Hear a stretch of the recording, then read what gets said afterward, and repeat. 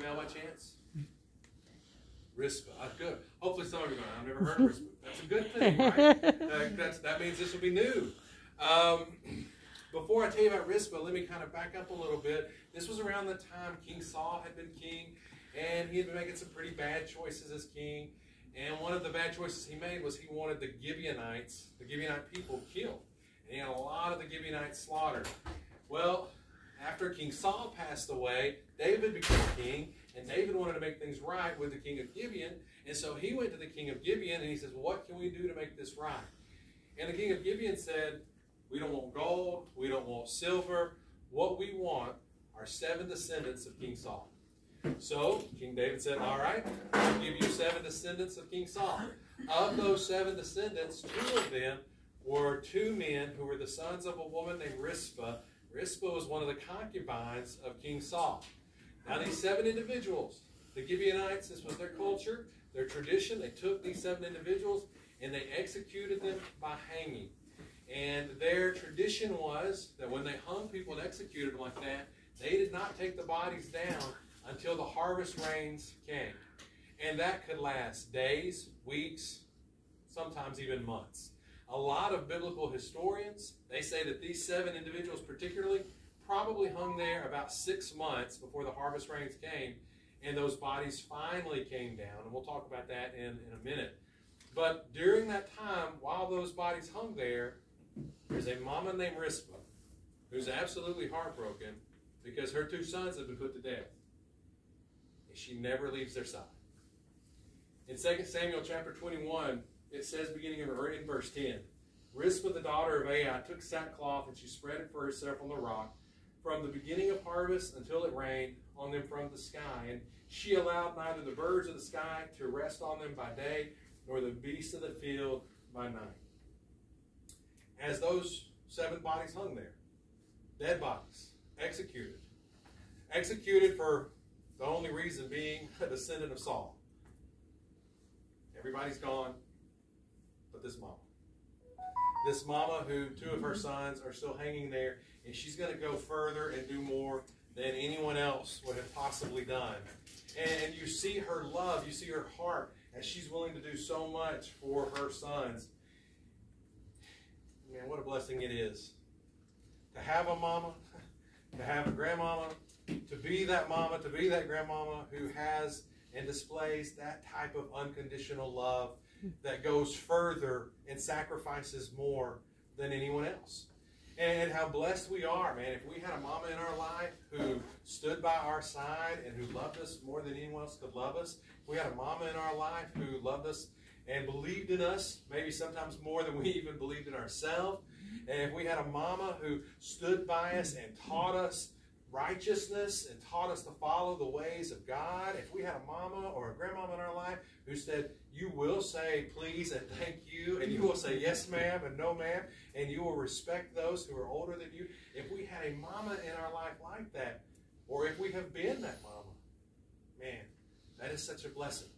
Because again, that's a love and a sacrificial love that goes so much further and makes such a, a lasting impact on so many. But but that love, it didn't just end there. That was her loving heart. But you also see her very, very protective hands as she guarded the bodies of these two sons of her. The Bible says that she took her sackcloth. Her sackcloth would have been basically her outer garment that she would have been wearing because she was in mourning. And in a better translation here would be that she actually used it as shade over the rock. So here she takes her outer garment, she takes this sackcloth that she's wearing, and, and she makes a shade, she makes some type of tent for herself. Can you imagine the heat? Can you imagine how hot it would have been? Can you imagine how dusty it must have been? Can you imagine this, this woman on this rock, possibly beneath the bodies of her son, just trying to create a little bit of shade, trying to protect herself as she's trying to protect those whom she loves so much? If you're a mama, if you're a grandmama, if you really want to protect your children, if you really want to protect your grandchildren, you have to start with yourself. You cannot give from an empty mm-hmm. cup. So, how are you and the Lord doing? How is your spiritual life? Is your spiritual life strong enough that you are able to provide for your children or for your grandchildren the way they so desperately need and desire. Because again, you can't give that which you don't have. Can you imagine, though, seeing Rizpah? Can you imagine her seeing her and watching her as she is protecting the lifeless bodies of her two sons? Can you, can you think for just a moment and, and maybe imagine her, whether it's with sticks or with rocks or just trying to shoo away the birds of the air, the birds that are continually coming in, trying to feed on the carcasses of her two sons? Can you imagine her doing that all day long? What a constant job that must have been, trying to shoo those birds away. And then night would come, and she knew every day night was going to come. And when night came, there didn't come rest, there came the beast of the field. And so now, as night comes, now she's protecting those two lifeless bodies of her sons from the beasts of the field. So here this mother is protecting by day from the birds of the air, protecting by night the bodies of her sons from the beasts of the field.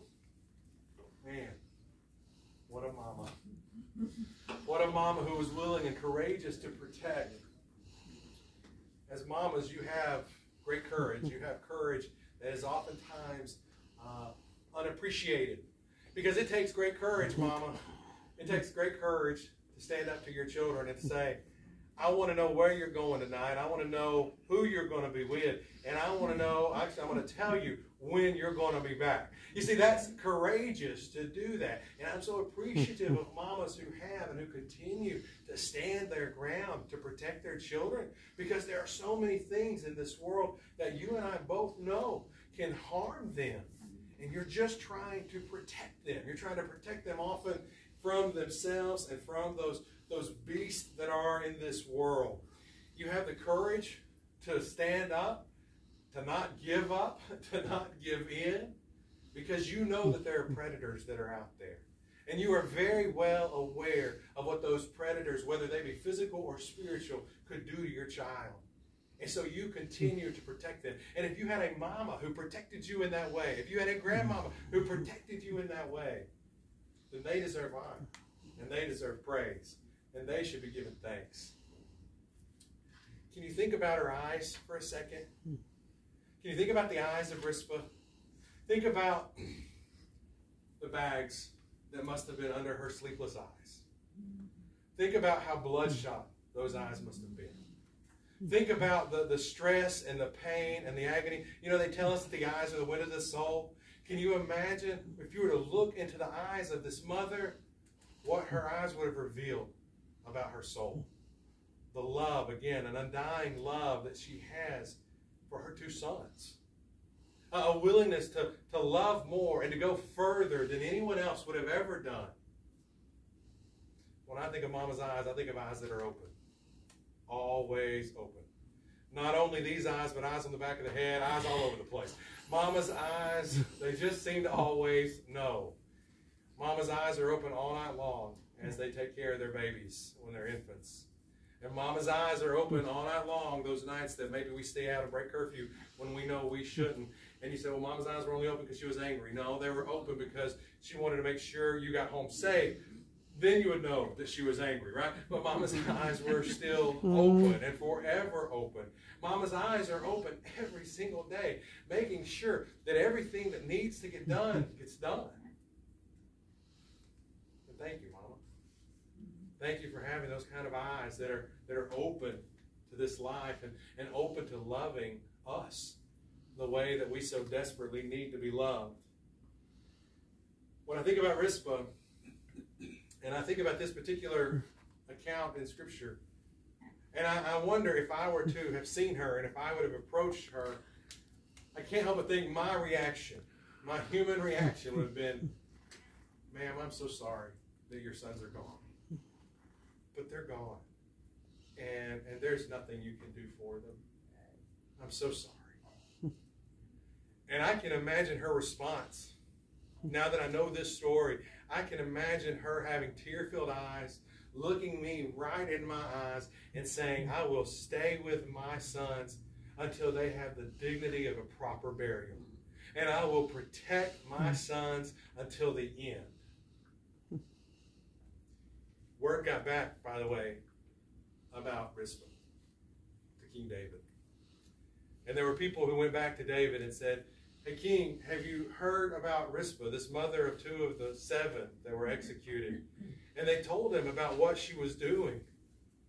And of course, David greatly appreciated the love that this mother was showing, the, the sacrificial, undying love that this mama had.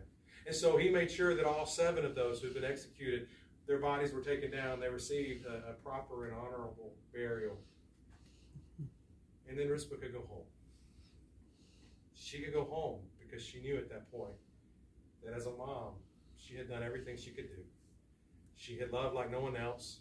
She had gone further than anyone else would have. She showed a sacrificial love. She showed a very real love. She showed a heart full of love. She showed hands that protected. She shows eyes full of love, full of stress, full of worry. We've had mamas like that in our life. We've had grandmamas in our life. If we've had aunties, if we've had anyone in our life like that, we should be so thankful. Hmm. And if you, and I know many of you are those mamas, thank you. And no one else has ever recognized you or told you before how much we appreciate what you've done. I just want you to know that you are appreciated.